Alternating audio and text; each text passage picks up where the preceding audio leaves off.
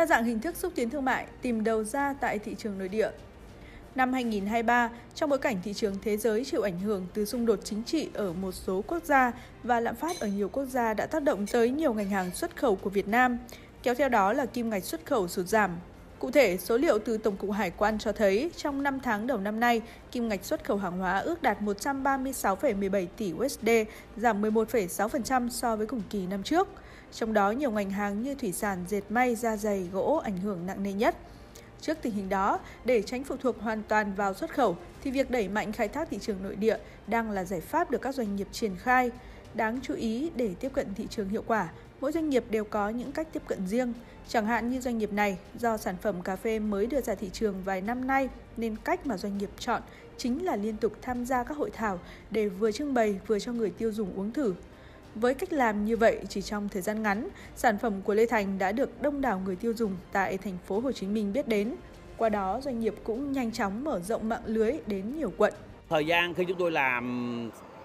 marketing, chúng tôi à, làm thương hiệu, chúng tôi có những sản phẩm thật đưa ra thị trường, chúng tôi có những quán cà phê riêng và đặc biệt trong những tất cả các chương trình hội thảo hiện nay, chúng tôi đều tài trợ cho người dân dùng thử hết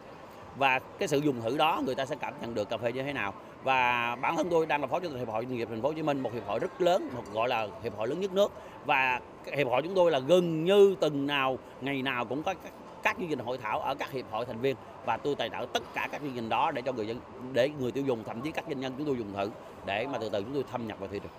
Trong khi đó, với hợp tác xã này thì việc trực tiếp tham gia các hội trợ để giới thiệu sản phẩm đang là giải pháp mà đơn vị thực hiện để tiếp cận người tiêu dùng. Đáng chú ý, thị trường mà hợp tác xã chọn là điểm đến trong năm nay là thành phố Hồ Chí Minh bởi đây là trung tâm kinh tế sôi động nhất của cả nước với dân số đông nên mức chi tiêu mua sắm cũng nhiều hơn. Chia sẻ lý do phải đẩy mạnh tiếp cận khách hàng nội địa, hợp tác xã này cho biết mặc dù là ngành hàng thiết yếu, song việc các doanh nghiệp xuất khẩu sụt giảm đơn hàng và kim ngạch đã tác động trực tiếp đến lương bổng của người tiêu dùng, từ đó khiến họ dè dặt hơn trong chi tiêu, dẫn tới doanh số bán ra của hàng nông sản ảnh hưởng. Chỉ mong muốn là mang những sản phẩm địa phương đến giới thiệu với bà con và có thể là khi nào bà con dùng thấy tốt thì mình bà con sẽ chủ động liên hệ lại với mình. Từ Hà Giang nếu mà vào Sài Gòn thì tất nhiên là cũng ờ, về khoảng cách thì cũng rất là xa. Ừ, trước khi mình ờ, chuẩn bị hàng vào trong Sài Gòn thì cũng ờ, mình cũng phải chuẩn bị trước ừ, khoảng 10 hôm thì có nhiều hình thức vận chuyển đó là gửi cả xe khách đi cả hàng không và có cả gửi bưu điện vào đây nữa. Trên thực tế, cách mà hai doanh nghiệp kể trên thực hiện cũng là chiến lược đang được nhiều doanh nghiệp và các địa phương triển khai.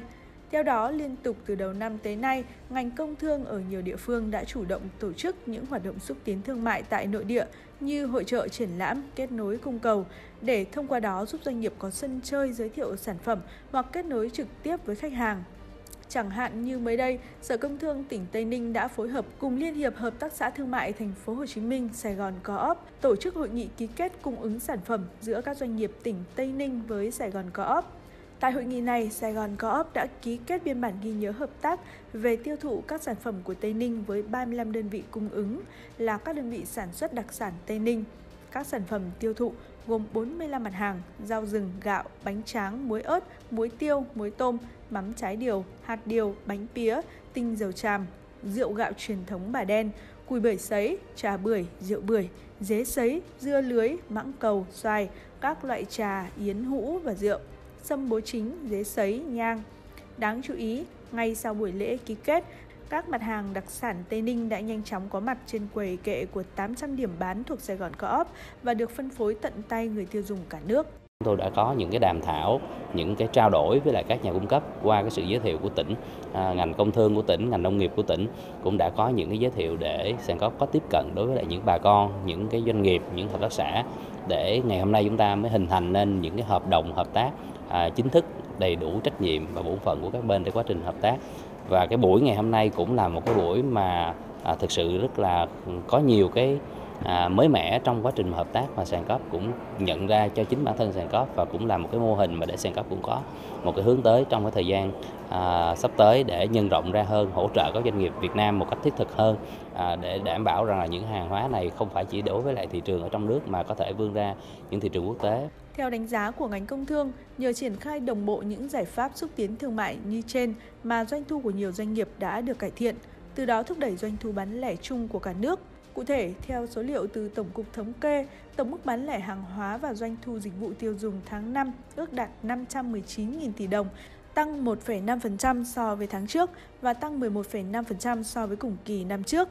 Tính chung 5 tháng đầu năm 2023, tổng mức bán lẻ hàng hóa và doanh thu dịch vụ tiêu dùng ước đạt 2.527,1 nghìn tỷ đồng, tăng 12,6% so với cùng kỳ. Đặc biệt hơn, dù trong bối cảnh khó khăn, song tổng mức bán lẻ hàng hóa các tháng đầu năm 2023 vẫn đạt tốc độ tăng cao nhất so với cùng kỳ các năm từ năm 2015 trở lại đây.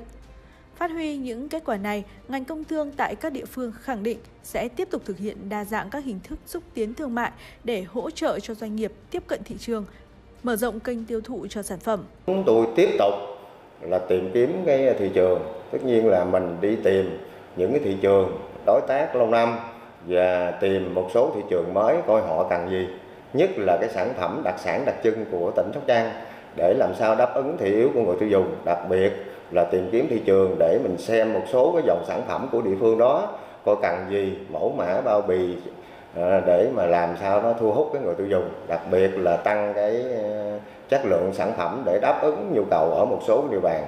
Cái thứ hai là chúng tôi cũng tiếp tục thực hiện cái chương trình xúc tiến thương mại và tham gia các cái hội trợ kích cầu tiêu dùng rồi liên kết quảng bá các sản phẩm đối với doanh nghiệp cũng như một số cái địa phương ở tỉnh bạn Đứng về mặt nhà nước địa phương thì à, có nhiều cái chính sách hỗ trợ. Thí dụ như là bây giờ à, hỗ trợ về vấn đề bao bì sản phẩm, hỗ trợ về vấn đề là là là chế biến sản xuất sạch, à, hỗ trợ về vấn đề truy xuất nguồn gốc à, và hỗ trợ về cái các cái vấn đề về kết nối cung cầu, à, rồi quảng bá thương hiệu. Nhân dân trong thời gian qua thì thông qua những cái thông qua những cái chính sách hỗ trợ này nó cũng giúp cho được một phần là thương hiệu của cái xoài Đồng Tháp, xoài Cao Lãnh một ngày càng một là tốt hơn. Theo Bộ Công Thương, mục tiêu chủ yếu đặt ra với lĩnh vực thị trường trong nước thời gian tới là thúc đẩy phát triển mạnh mẽ thị trường trong nước nhằm khai thác hiệu quả thị trường nội địa với gần 100 triệu dân, phấn đấu tốc độ tăng trưởng tổng mức bán lẻ, hàng hóa và doanh thu dịch vụ tiêu dùng đạt 8 đến 9%. Bên cạnh đó, tăng cường công tác kết nối, bảo đảm cân đối cung cầu hàng hóa thiết yếu, góp phần ổn định giá cả hàng hóa lưu thông trên thị trường và mục tiêu kiểm soát lạm phát dưới mức 4,5% được đặt ra trong nghị quyết 01 của chính phủ. Đồng thời, hỗ trợ tiêu thụ hàng hóa trong nước, đặc biệt là hàng hóa nông sản vào vụ thu hoạch, đổi mới tổ chức kết nối cung cầu trong nước trên môi trường trực tuyến và dựa trên những nền tảng mới, tạo kênh tiêu thụ thuận lợi ổn định. Chính vì vậy, trong thời gian tới, Bộ Công Thương xác định thực hiện có hiệu quả các chương trình xúc tiến thương mại thị trường trong nước, thúc đẩy phân phối hàng hóa qua nền tảng số, thương mại điện tử để mở rộng tiêu dùng nội địa.